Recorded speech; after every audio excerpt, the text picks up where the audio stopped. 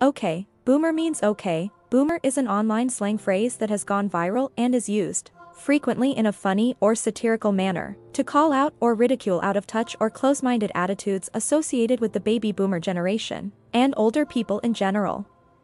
The word originated in the United Kingdom,